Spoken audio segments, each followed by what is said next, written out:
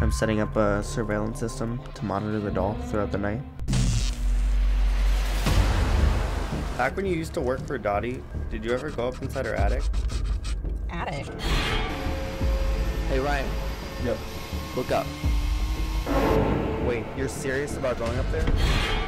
Look at this place.